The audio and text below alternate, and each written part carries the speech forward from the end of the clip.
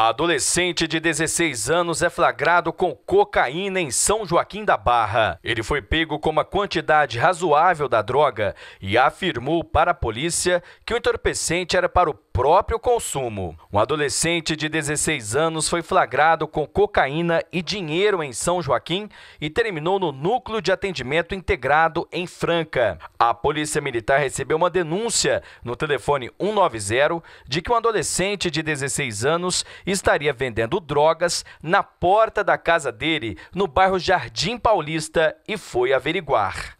No local, os policiais se depararam com o adolescente.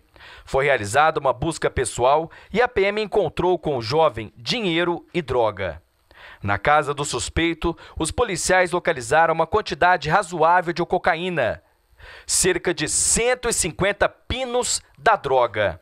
O entorpecente estava separado em cápsulas da cor vermelha. O adolescente de 16 anos negou para a polícia que estava comercializando entorpecentes e afirmou que é usuário de cocaína.